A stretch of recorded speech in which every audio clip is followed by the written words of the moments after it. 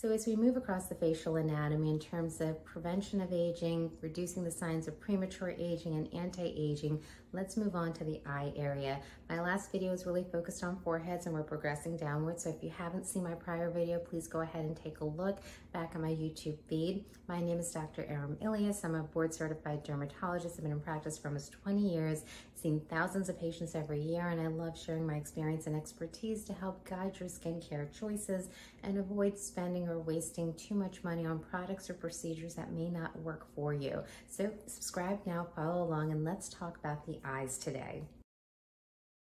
First things first, the area around the eyes as we age is really confounded by the fact that much of the changes that we tend to see as we get older are structural. They are not necessarily within the skin itself.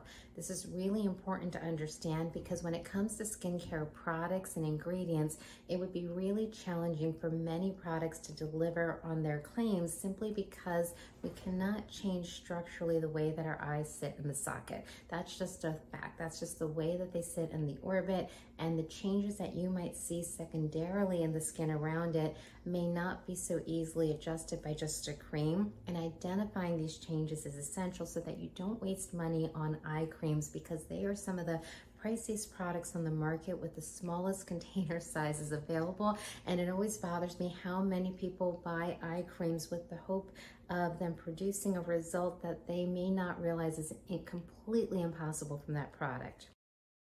When it comes to the upper eyelid, the most common complaint that I come across is drooping or heaviness of the upper eyelid. Now, this is significant not just from an aging perspective, but from a medical perspective, because when the upper eyelid becomes heavy and it droops, it does impair the vision along the outer eye, which means your peripheral vision could be impacted. This is not something to take lightly because as we get older, that drooping of the eyelid will only impact your vision further. So this is something that we don't want to put in just the cosmetic category. It is a medical concern. Most commonly when patients come in asking about that area, they're actually not talking about their upper eyelid to me. They start coming in asking about forehead wrinkles right above the upper eyelid. These are the patients that do need to be evaluated very, very carefully because what you may not realize is that many times when you see deep etched in forehead wrinkles along the upper outer eyebrow, Many times these are what we call compensatory wrinkles, meaning areas of your forehead that you were actually contracting more so just to keep your eye open. So if I were to inject Botox in those areas, we run a very high risk of getting an even droopier upper eyelid. So I have to very carefully explain to my patients that, look, if you are seeing forehead wrinkles above the upper eyelid, we need to evaluate you very carefully to make sure that it's not that you are actually ironically contracting your forehead more so just to keep your eyelid open and if that's the case, we don't want to do Botox. I really need to have you seen by oculoplastics just to ensure that your vision is checked first and that maybe perhaps a surgical intervention may be more suited for you, which would be a procedure called a blepharoplasty. That's when they actually take the upper eyelid skin and remove some of that excess to actually help with your vision and cosmetically there's a secondary benefit.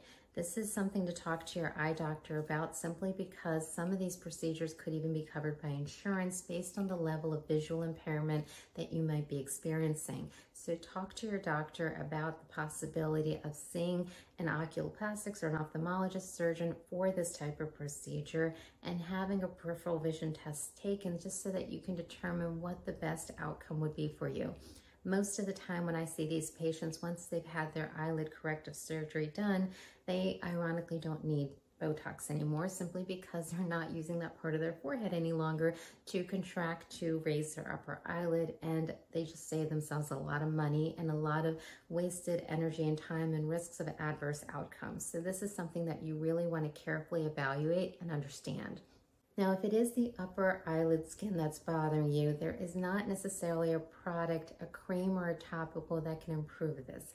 Eye creams and eye products work or act very superficially in the skin, mostly to add turgor or hydration to the skin, which for some people with a droopy upper eyelid will ironically feel like it might get worse because it might feel like there's a little added moisture and hydration that makes that skin look more apparent. So I would actually shy away from recommending a cream for this area. Some of the most common questions I'm asked about the upper eyelid skin is whether or not waxing the eyebrows contributes to laxity of the upper eyelid skin. I have not come across any medical studies that can prove something of this nature.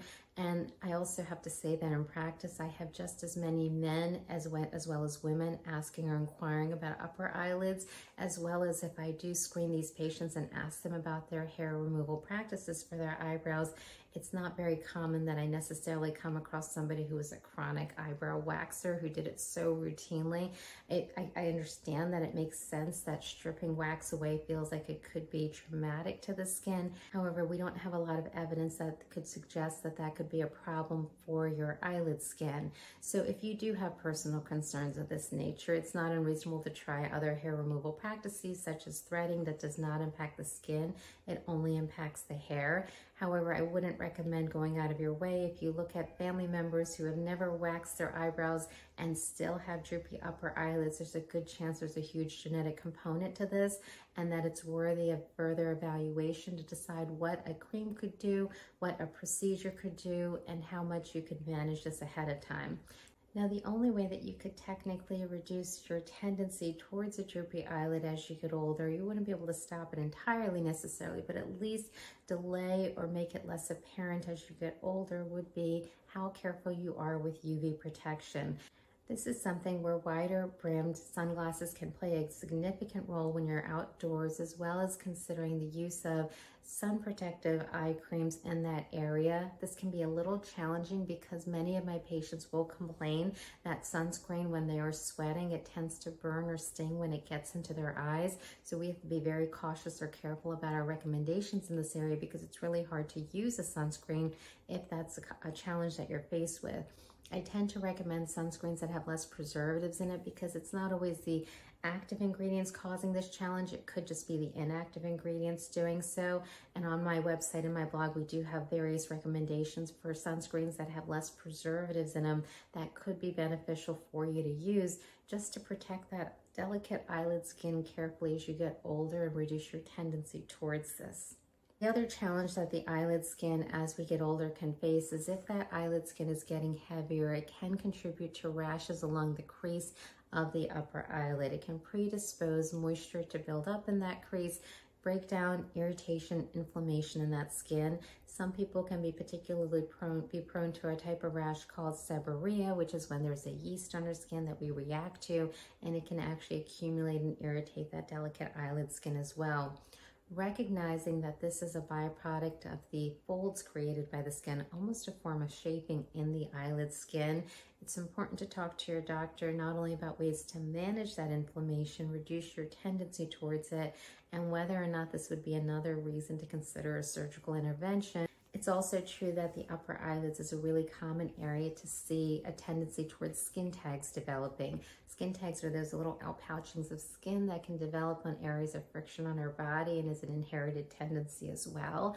If this occurs, of course, we treat these routinely. I treat them in my office literally every day of the week. But that being said, um, reducing the tendency towards friction might be helpful to reduce your tendency towards developing new skin tags.